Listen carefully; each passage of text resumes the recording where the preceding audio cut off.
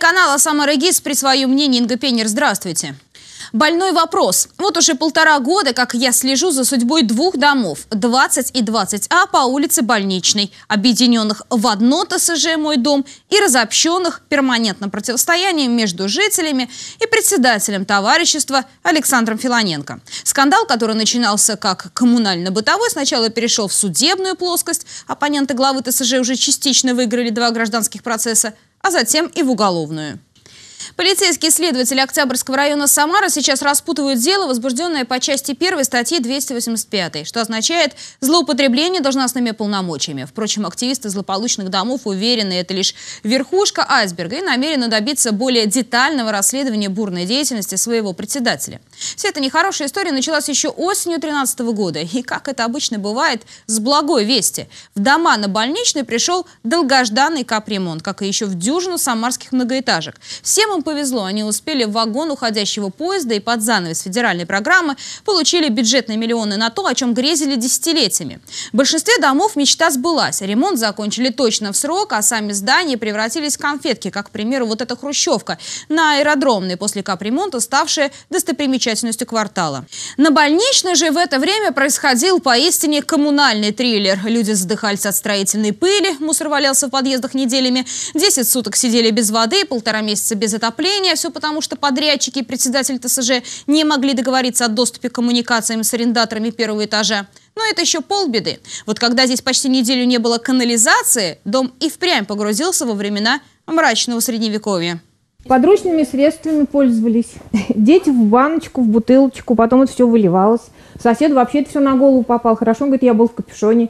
Ну, нас, народ не весь может спускаться и куда-то выливать. Кто-то просто с балкона вылил. Так что у нас очень весело и хорошо. Отчаявшиеся жители позвали тогда на помощь журналистов. Пришлось лично бегать за рабочими и уговаривать их проявить к людям милосердие. Валер, а я прошу вам... сейчас подойти вас. Валер, ну это уже не серьезно, это уже прям как в детском саду. То есть вот смотрите, за то, то, что выделяет государство, за то, что мы должны еще заплатить, мы должны вот иметь вот такие вот мучения, страдания, то есть тратить свое время, бегать, кого-то упрашивать. Вот они полный стояк сделали за э, 7 часов. 7 часов, а у меня продержали 7 суток. Маленькая разница. Вот и считать, если так вот э, по 7 суток каждый подъезд, да, мы к июню, как говорится, будем культурно жить. Шутка, может, и оказалась бы зловеще пророческой, если бы скандал на больничной не привлек внимание городского департамента ЖКХ и районных властей. После выхода первой передачи в эфир ремонту, конечно, придали волшебное ускорение.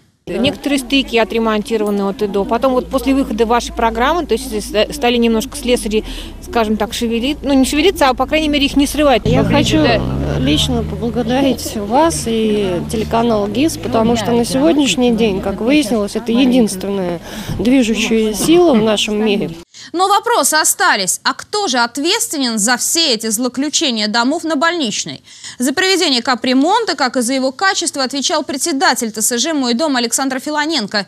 Весьма примечательная личность. Ни с кем не церемонится, ни с жителями, обзывает дураками, и все такое, и дураки, и идиоты, ну, и это, придурки полные. Ничего нельзя у него выяснить, чего бы не спросил, он несет всякую чушь, ерунду какую-то заговаривает и все. Либо врет, либо оскорбляет и хамит. Он нас вот на последнем со собрании мы собрались, он нам сделал знак, э, кулак кверху и ладонью за локоть. Вот так вот нам показали показал всем. Не журналистами. В разгар коммунального хаоса на больничной я искренне пыталась понять точку зрения председателя ТСЖ, дать ему шанс объясниться. Не вышло. Вот так закончился наш первый разговор с Филоненко. Девушка, вот вы поймите, что вы не тем занимаетесь. Вы не тем занимаетесь. Вас вызвали, вылить говно на меня, понимаете? Вот. Ну, вылейте, так вылейте. Мне, честно говоря, на это наплевать. А вот такая душевная беседа у нас состоялась уже на днях. Ну, вы, наверное, меня помните, журналист, который делал неоднократно материалы про больничную 20 и 20А. Алло? Ну еще. Александр Валентинович, нам бы хотелось бы с вами все-таки встретиться, потому что мы собираемся делать продолжение материала, и без вашей точки зрения, конечно, на проблему, ну, наверное, невозможно обойтись. Алло, Александр Валентинович, может быть, вы не будете бросать трубку? Все-таки взрослые люди, давайте поговорим. Всякие мрази предоставляли вам ролики какие-то похабные, это скомпилированные, да? И вы вот это пускали в эфир, да? Вот как вам это нравится? Всякими мразями, прошу прощения за грубость цитаты, председатель товарищества называет людей, которые проживают в доверенных ему домах. А похабный ролик – это запись его разговора с оппонентами. Обратите внимание, глава ТСЖ знает, что идет съемка, но в выражениях не стесняется. Вы нам обещаете уже два с половиной, три месяца Ну, уже. значит, я обещаю. Я вам Вы, ничего я не обещаю принял. вообще. А, уже ничего, да? Ничего не Направление. Вы это на камеру, что ли, пишете? Естественно, на Ну, камеру. понятно, на понятно. камеру. Понятно, у нас же кто не ворует, тот дурак. Так, где же у нас? Мало того, мало того, кто гадит из-под тяжка, тот умный как раз. Гадит Есть из-под тяжка? Да, да. И в открытую гадит тоже умный. Э, снимай, снимай. Вы пришли сюда гадить, что ли? Вот чего вы пришли сюда? Вот Это вы гадите по каналу. Вообще, вот вы просто задумайтесь в глубине души, что вами движет вообще. К оригинальной манере общения господина Филоненко я еще вернусь, а пока предлагаю посмотреть на результаты его работы. Свежие кадры, сделанные уже после капремонта. Вот все течет, видите, вот сыпется. Вот все, весь угол, все течет, все сыпется. Вот после капремонта мокрое. Вот смотрите, все мокрое. Вы чувствуете запах? Акты подписывал Филоненко о приеме этих работ. Подписывал подрядчик, который сдал эти работы. Протекает, вот вы можете посмотреть. Вот она, вода свежая. Вот здесь залило мою квартиру, вот следы белые. Здесь идут на двери, следы идут. Я специально не стал стирать. У соседа есть видеозапись с этой квартиры, как вело. Вот такой у нас хозяин. Топило вот от этого угла а, здесь и вот здесь. Филоненко пришел, э, составил, сейчас секундочку я вам покажу, э, составил мне акт, но он его не подписал, что визуально не голословом быть, пока без подписей. Пока копии мне акта не выдали. Это вот факт, подтверждающий пролив квартиры после капитального ремонта. Уж не знаю, какие идиллические картины маслом господин Филоненко рисует в своих отчетах, но Госжилинспекция еще в сентябре 2014 года подтвердила факты протечки, равно как и другие претензии жителей. Люди жалуются на холод в квартирах, на неисправные мусоропроводы, да и в подъездах осталось много, на их взгляд, недоработок. Вот это, вот эти вот заделанные швы, это бутафория, потому что под них ничего нет. Должны были подвести в каждый карман электропроводку под, под эти лампы. Ни ламп нету, ни, ничего. Пустой вот такой работы навалом. Все это время активисты с больничной не сидели сложа руки, пытались переизбрать председателя. Но Александр Филоненко не из тех, кто сдается без боя. Кресло еще под ним, но уже шатается. Для начала оппоненты главы ТСЖ в суде доказали, что заочное собрание, состоявшееся в сентябре 2013 года и на котором Филоненко подтвердил свои полномочия, прошло, мягко говоря, с нарушениями. В список конкурентов председателя попали далеко не все желающие, да и сами бюллетени голосования имели, по мнению суда, многочисленные, цитата, «дописки и подчистки». Филоненко решение Октябрьского суда пытался протестовать, но неудачно. Признать недействительно протокол подсчета голосов членов ТСЖ. Но самое главное, что он был выбран недействительно. То есть он с какого времени, получается, был нелегитимен? С 25 марта 2013 года. И по какой По срок? сей день.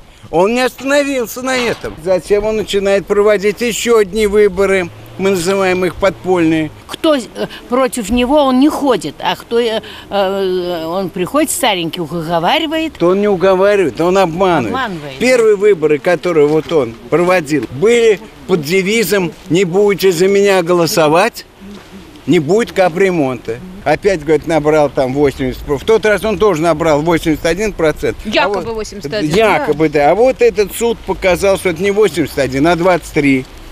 Вот. В этот раз, наверное, будет то же самое, потому что мы, конечно, в суд подадим. В судах жители одержали еще одну победу. Доказали, что свою зарплату господин Филоненко получал незаконно. По сути, сам себе назначил. Спросите, как такое может быть? Легко и просто. Вопрос о повышении жалования на общее собрание не выносился, решался в узком кругу правления, что в корне противоречит жилищному законодательству. Надбавка, подсчитали люди, получилась солидная, чуть более 900 тысяч рублей. Правда, взыскать эти деньги не получилось. Суд, на мой взгляд, отказал по формальным основаниям. Дело в том, что ущерб ущерб был нанесен ТСЖ, а значит и требовать вернуть сумму может только товарищество, а не отдельно его представители. Ну а пока Филоненко удерживает должность, понятно, что вряд ли ему захочется подавать в суд на самого себя. Впрочем, это вполне можно будет сделать в рамках уголовного процесса. Жители больничной подали заявление в АБЭП, которому был дан ход. Сначала появилось уголовное дело о самоуправстве, сейчас его переквалифицировали на более тяжкую статью «Злоупотребление должностными полномочиями». С 1 сентября 2012 года по 1 октября 2014 года э, руководитель правления товарищества собственников жилья «Мой дом», расположенного в домах 20 и 20А по улице Больничного в Октябрьском районе города Самара, завладел денежными средствами правления товарищества собственников жилья «Мой дом». В настоящее время ведутся оперативно-розыскные мероприятия и следственные действия, направленные на установление виновных лиц для принятия законного и обоснованного решения по данному уголовному делу. Узнать, что думает на сей счет главный герой этой истории, увы, опять не удалось. Вы в курсе про уголовное дело о злоупотреблении должностными полномочиями? Это вам кто сказал вот это вот? Ну, официальная информация от Главного следственного управления. Вот так вот? Да. Да?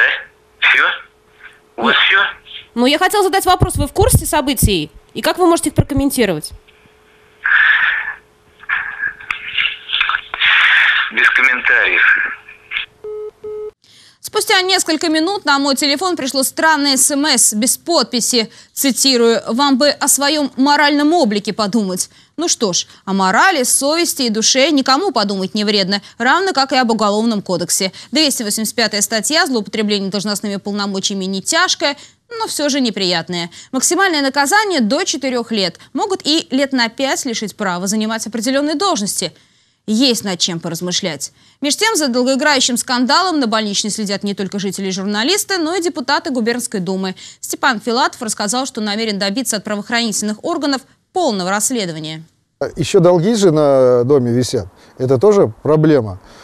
Я думаю, здесь прежде всего надо это и жильцам самим, жильцам не успокаивается. А само э, председатель ТСЖ, это мой дом, по нему тоже масса вопросов есть. Есть судебное решение, где указано, что он незаконно получал зарплату. Это тоже не исполняется. Очень много странностей. Надеемся, что вот новый э, глава нашей полиции, который придет, вполне возьмет, может быть, еще дополнительно проверку сделаем, потому что мы это дело не будем оставлять. Программа «При своем мнении» тоже не останется в стороне, тем более, что и жители об этом просят. Ваша помощь заключается не только в том, что вы сняли и уехали, отработали для себя, и кто-то посмотрел. Ваши диски мы, во-первых, прикладывали, передали и в ГЖИ, передавал я и в Минэнерго. Видно, вот то, что вы показываете, все равно влияет на ту ситуацию, которая складывается в нашем ТСЖ. И если вы будете продолжать э, именно работать в этом направлении и в сфере ЖКХ и в других сферах, я думаю, это помощь не только нам, вот Дыму, Скворцову, тут еще ряду лиц. Это помощь помощь Самаре. Мы на вас, на вас возлагаем ну, средства массовой информации. Это же чудо. Мы вообще рассчитываем на вас очень здорово. И если вы не будете нам помогать, бардак как был, есть и будет. Ставлю в этой истории многоточие. На сегодня пока все. Звоните, пишите, жалуйтесь. Удачи вам. Увидимся.